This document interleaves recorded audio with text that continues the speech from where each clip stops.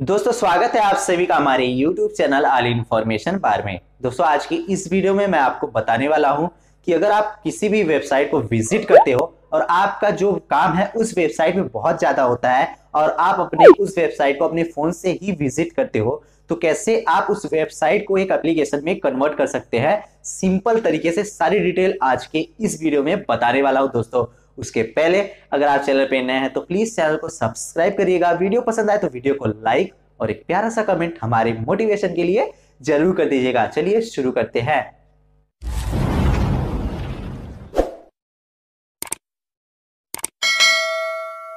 तो दोस्तों, सबसे पहले हम जान लेते हैं कि अगर आप किसी भी वेबसाइट को एप्लीकेशन में कन्वर्ट करना चाहते हैं तो क्या उससे आपको कुछ बेनिफिट होने वाला है या फिर नहीं?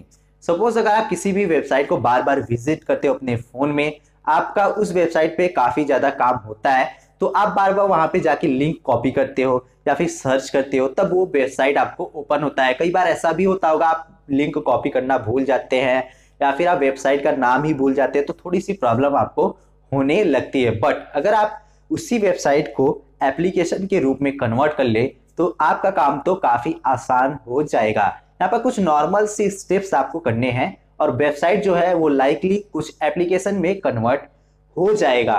तो चलिए दोस्तों, चलते हैं अपने मोबाइल स्क्रीन की तरफ़ और तो दोस्तों, आ चुके हैं हम लोग अपने मोबाइल स्क्रीन की तरफ़। सिंपल तरीके से आपको अपने गूगल पे ही, जिस पे भी आप अपने वेबसाइट को सर्च करते हैं, वहाँ पर आप उस वेबसाइट को सर्च करके एक बार पेज ज़रूर ओपन कर लीजिए। तो यहाँ पर मैं सर्च कर लेता हूँ सरकारी रिज़ल्ट डॉट कॉम यानी सरकारी रिज़ल्ट वाला वेबसाइट मैं खोल लेता हूँ। अब यहाँ पे जैसे ही मेरा मेन पेज है सपोज़ आप यहाँ पे कोई भी वेबसाइट को चूज़ कर सकते हैं। अब मैं इस वेबसाइट को सपोज़ मैं बहुत ज़्यादा विज़िट करता हूँ और मैं नहीं चाहता कि बार बार मुझे गूगल पे आके ये सर्च करना पड़े कि सरकारी रिज़ल्ट डॉट कॉम फिर बाद में पहले वाले वेबसाइट पे टाइप करके उसे ओपन करना पड़े।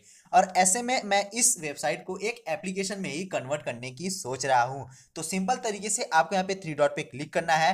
क्लिक करने के बाद यहाँ पर एड टू होम स्क्रीन वाला ऑप्शन आपको देखने को मिल जाता है। अब मैं ये नहीं कह रहा हूँ कि ये एप्लीकेशन में कन्वर्ट होगा बट ये होम स्क्रीन पे आपके हमेशा के लिए रह जाएगा लाइक एप्लीकेशन सिंपल तरीके से आपको उस पर क्लिक कर देना है। अब यहाँ पे आप उस होम स्क्रीन पे जैसे ही ऐड करेंगे तो यहाँ पे कोई भी नाम आप दे सकते हैं बट उसके पहले आपको जो भी वेबसाइट आपका है, वो यहाँ पर नाम रहेगा ही रहेगा। अब आप इसे चेंज भी कर सकते हैं। सिंपल तरीके से आपको इसे ऐड पे क्लिक कर देना है। ऐड पे क्लिक करने के बाद यहाँ पर ऐड ऑटोमेटिकली पे भी क्लिक कर देना है। क्लिक करने के बाद ये वेबसाइट अब आपके होम स्क्रीन पे आपको देखने को मिल जाएगा। तो सिंपल से हम आप बैक हो जाते हैं। बैक होने के बाद अब आपको यहाँ पे अपने होम स्क्रीन को चेक कर लेना है कि क्या वो वेबसाइट जो है, वो हमारे होम स्क्रीन पे अब आ चुका है या फिर नहीं। तो देख सकते हैं दोस्तों, यहाँ पे Sarkari result dot com home screen पे हमारे आ चुका है। तो यहाँ पे मैंने कई सारे ऐसे वेबसाइट्स को अपने इंपॉर्टेंट वेबसाइट्स को यहाँ पे, एक लाइक एप्लीकेशन मैंने यहाँ पे कन्वर्ट करके रखा है तो सिंपल तरीके से आपको ऐसे ही कन्वर्ट कर लेना है। अब यहाँ पे मैं अपने फ़ोन को थोड़ा सा रिफ्रेश कर लेता हूँ रिफ्रेश करने के बाद अब सिंपल तरीके से थोड़ी सी क्लियरिटी टेस्ट कर लेते हैं, यानी विश्वास वाली टेस्ट जो कि आपको हमारे चैनल पे हमेशा देखने को मिलती है। सिंपल तरीके से आपको सरकारी रिज़ल्ट वाले इस एप्लीकेशन में टैप कर देना है।